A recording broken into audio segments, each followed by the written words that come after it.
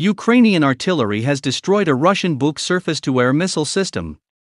According to Ukrinform, the Ukrainian Air Force Command reported this on messaging app Telegram. Groups of the Ukrainian Special Operations Forces are hunting for a special beast enemy air defense.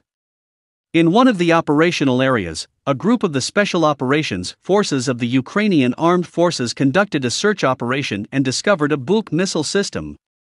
After that, the operators fired artillery at the occupiers' equipment. And then they started clearing the area, the statement reads. While clearing the area, the Ukrainian military found the remains of the Buk system.